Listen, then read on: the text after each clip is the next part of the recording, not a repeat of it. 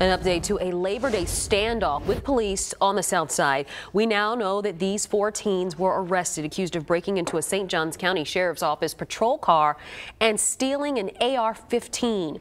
We are not naming the suspects or showing their full mug shots because of their ages. Action News Jax Robert Grant joins us live from that neighborhood. And Robert, you requested that police report 10 days ago. And Tanika, here is 100 pages nearly long.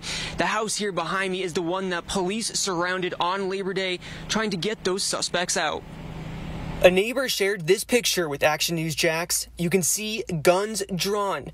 We now know these four teens were inside. Their ages range from 14 to 16 years old. Police say they're tied to nine different car burglaries, including a St. Johns Sheriff's Office patrol car. According to the report, they smashed the window and stole an AR 15, a thousand rounds of ammo, tactical gear, and a radio. Police also pinged a stolen iPad to this neighborhood along Sandusky Avenue.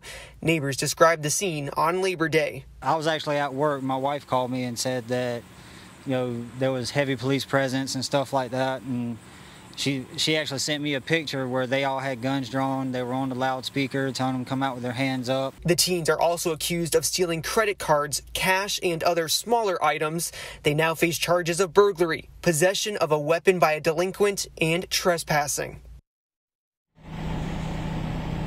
I've also reached out to the St. Johns County Sheriff's Office to see how they were able to get these guns and the precautions they have in place to protect that ammo.